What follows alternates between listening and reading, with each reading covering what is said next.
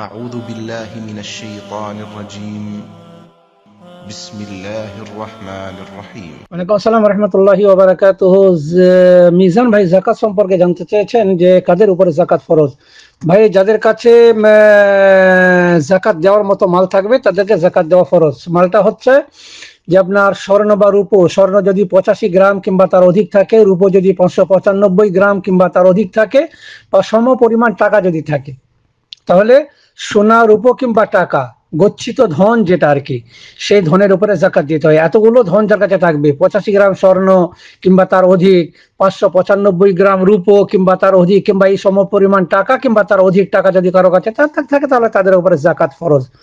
অনুরূপভাবে যে শস্য ক্ষেত, তার মানে জমি থেকে উৎপন্ন ফসলের উপরেও জাকাত রয়েছে। ছশো বারো কিলোগ্রাম যদি ফসল আপনার গম, ধান, এই ধরনের কোনো ফসল উৎপন্ন হয়, তাহলে আপনার কুড়ি ভাগের বিশ ভাগের এক ভাগ আপনার আল্লাহর রাস্তায় দান করতে হবে। অনুরূপভাবে উট, পাঁচটা উট থাকলে আপনাকে জাকাত দিতে হবে। অনুরূপভাবে যে গাভী গাভী বা গরু, তিরিশটা গরু থাকলে আপনাকে জাকাত দিতে হবে। আর, চল্লিশটা ছাগল থাকলে আপনাকে জাকাত দিতে হবে। জি। এগুলো হচ্ছে কয়েকটি নিয়ম। অনুরূপভাবে যে ব্যবসার যে লাভ সেই লাভে। আপনার কোনো দোকান আছে, আপনার কোনো ব্যবসা আছে, সেই ব্যবসাতে যে লাভ হবে, সেই লাভটাতে আপনাকে কি ওই যেমন পঁচাশি গ্রাম স্বর্ণের মূল্যের পরিমাণ যদি হয়, তাহলে তাতেও আপনাকে জাকাত দিতে হবে। তার মানে আপনাকে চারটা জিনিসই জাকাত দিতে হয়। একটা হচ্ছে সোনার উপর টাকা, এক নম্বর। দু নম্বর হচ্ছে পশু, জি, গরু, ছাগল, উট এই এই সমস্ত জিনিস। তিন নম্বর হচ্ছে আপনার যে জমির উৎপন্ন ফসল, জমির উৎপন্ন ফসল। আর চার নম্বর হচ্ছে আপনার জি, আপনার ওই যেটা বললাম, চার নম্বর হচ্ছে আপনার যে ব্যবসার যে লাভ, সেই লাভের উপরে জাকাত দিতে হবে। এগুলো হচ্ছে জাকাত কাজের উপরে ফরজ। তিন নম্বর হচ্ছে কোন কোন জিনিসের উপরে ফরজ তাও তো বললাম। যে এখন মসজিদ, মাদ্রাসা কি না? মসজিদ, মাদ্রাসা অমুক্ত মুখে জাকাতের পয়সা দেওয়া যাবে না।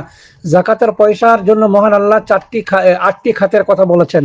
জি, যেমন সূরা তাওবার 60 নম্বর আয়াতে মহান আল্লাহ বলছেন ইন্নামাস সাদাকাতুল লিল ফুকারা ওয়াল মাসাকিন।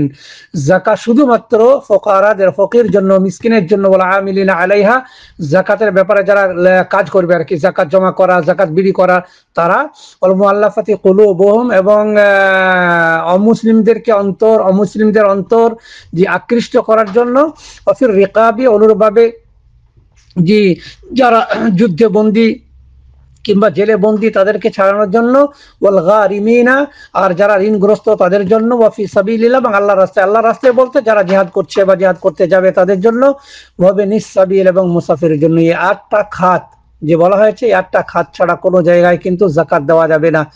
মাদ্রাসায় যদি গরিব ছাত্ররা থাকে, তাহলে গরিব ছাত্রদের জন্য মাদ্রাসা বিল্ডিং বানানোর জন্য নয়।